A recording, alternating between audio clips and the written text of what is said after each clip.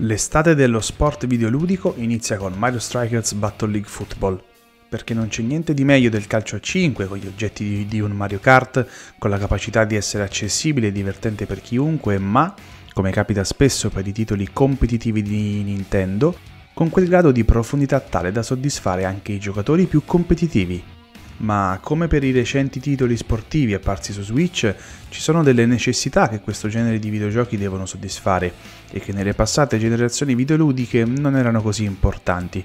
Contenuti da sbloccare, magari aggiornati nel tempo, attrattiva per i giocatori in singolo e modalità online. Partiamo da quella che è inevitabilmente la criticità più grande di Mario Strikers, il roster dei personaggi. 10 calciatori sono pochi, troppo pochi per non rappresentare un problema. Diversamente dagli ultimi capitoli, poi, in Battle League Football si possono scegliere 4 personaggi primari, invece di un capitano accompagnato dai minion come in passato. Questo significa che le due squadre in campo avranno quasi sicuramente alcuni giocatori identici nella maggior parte dei casi. Un problema ancora più pressante perché gli ipertiri, le mosse spettacolari di ogni personaggio, hanno un effetto tangibile stavolta. Un roster così limitato comporta che molte partite di Mario Strikers risulteranno molto simili tra loro perché spesso si ripeteranno alcuni di questi effetti. Mancano personaggi piacevoli che potevano essere inseriti, perché ci sono tanti abitanti del regno dei funghi che potevano dire la loro all'interno del campo da gioco. In videogiochi simili come l'ultimo Mario Golf, Nintendo ha pubblicato personaggi aggiuntivi in via gratuita dopo il lancio. Speriamo che anche Mario Strikers possa avere lo stesso trattamento. Ma una volta mandato giù questo amaro boccone, non si può non rimanere colpiti da quello che Mario Strikers Battle League Football mette in mostra. Le animazioni di gioco e degli ipertiri in particolare sono spettacolari a dir poco, con un effetto che renderizza in tempo reale i personaggi, trasformandoli in una versione più fumettosa dai tratti molto decisi Durante l'esecuzione, i cacciatori del regno dei funghi danno il meglio di sé. Esplosioni, fulmini, colonne di ghiaccio, tornado, fiammate e terremoti rendono Mario Strikers uno spettacolo ad ogni azione. A tutto questo si aggiunge anche l'estetica degli stadi, l'amorevole casino generato dall'uso degli oggetti così come la qualità degli effetti visivi di tutto questo.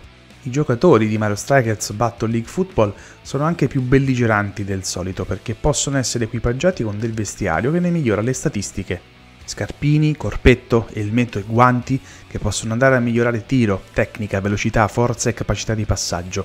Esteticamente sono tutti oggetti ben fatti, che creano situazioni divertenti come vedere un piccolo Todd completamente corazzato oppure esaltano la grinta di Peach donandole un'armatura che la rende una giocatrice con cui non bisogna discutere. L'idea di raffinare il gameplay con questa funzione, che può essere disabilitata ad ogni partita ovviamente, è interessante, ma gli equipaggiamenti sono troppo pochi da sbloccare e pad alla mano è difficile capire con esattezza quanto influiscano realmente nel gioco.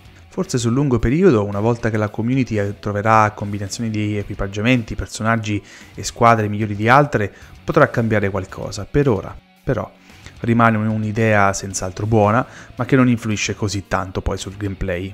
Palla al piede, infine, Mario Strikers Battle League Football ha fatto un netto passo in avanti rispetto ai predecessori.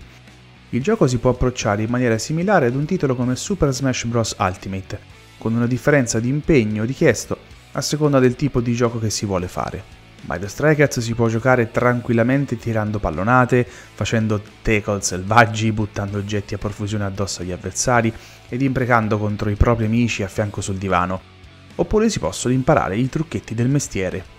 Per prima cosa gli ipertiri ora sono per tutta la squadra. In maniera similare al citato Smash bisogna raccogliere la sfera Strike per poter attivare la mossa speciale. Un aspetto strategico che consente, per, esempio giocando in squadra con altri umani, di poter fare mosse coordinate tra chi raccoglie la sfera e chi magari si inizia già a liberare per tentare il tiro. Caricare l'ipertiro inoltre non significa andare a colpo sicuro, il tempo rallenta ma non si ferma, quindi con dei tackle ben piazzati oppure oggetti lanciati con precisione si può comunque bloccare un giocatore in procinto di tirare. Inoltre ogni mossa, tra passaggi, contrasti, dribbling e tiri, ha un tempismo ideale per il quale ci si può esibire nella versione perfetta di questi. Dribblare al momento giusto permette per esempio di avere un piccolo sprint, mentre un tiro perfetto sarà più difficile da, da parare e stordirà maggiormente il portiere. Grazie a queste funzionalità, a questi bilanciamenti, Mario Strikers Battle League Football riesce ad essere appagante per tutti e per questo lo riteniamo molto più che promosso. Certo il peso del roster limitato di personaggi e delle poche attività single player extra si fa sentire, ma con un gameplay così solido ed esplosivo il nuovo Mario Strikers rappresenta decisamente un passo in avanti per la serie. Se Nintendo lo supporterà adeguatamente nel tempo, un gameplay così stratificato lo rende possibile anche per un grande exploit futuro. Per ora una partita tira l'altra ed è difficile stancarsi realmente di giocare, soprattutto con un gruppo di amici in locale, la migliore espressione possibile per un videogioco del genere.